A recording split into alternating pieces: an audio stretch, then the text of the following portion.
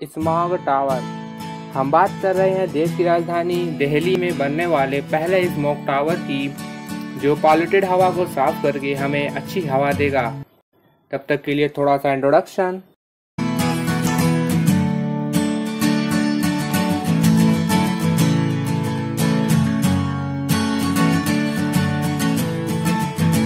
subscribe our channel please Delhi के पर्यावरण मंत्री गोपाल राय ने कहा है कि चीफ मिनिस्टर अरविंद केजरीवाल की लीडरशिप में पॉल्यूटेड हवा को साफ़ करने के लिए दिल्ली स्मोक टावर लगाने वाले देश का पहला स्टेट बन गया है।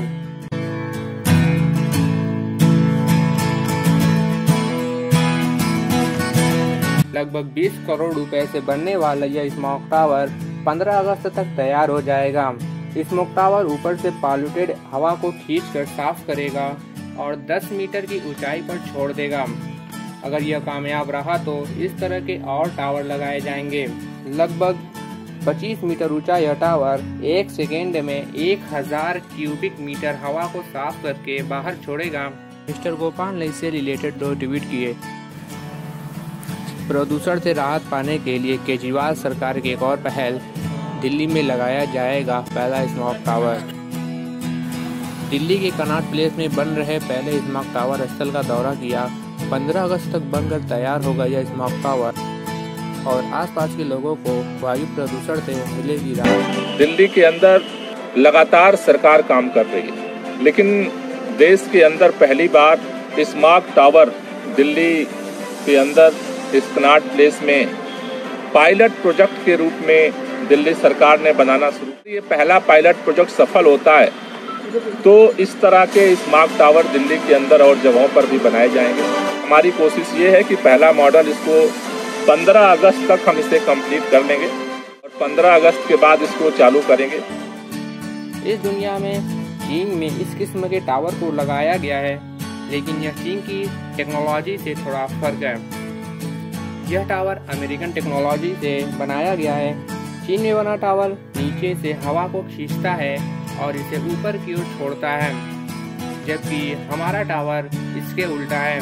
इसके चारों तरफ़ 40 पंखे हैं, जो साफ़ हवा को 10 मीटर की ऊंचाई पर छोड़ेगा।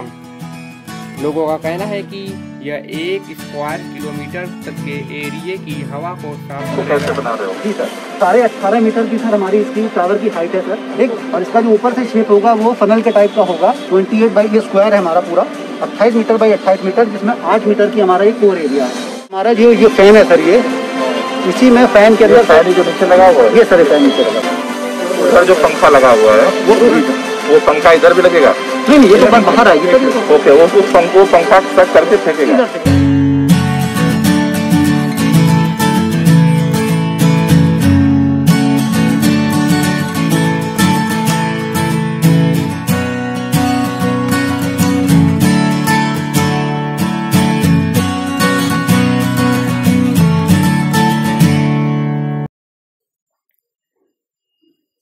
वीडियो अगर अच्छी लगी तो लाइक करें, चैनल को सब्सक्राइब करें।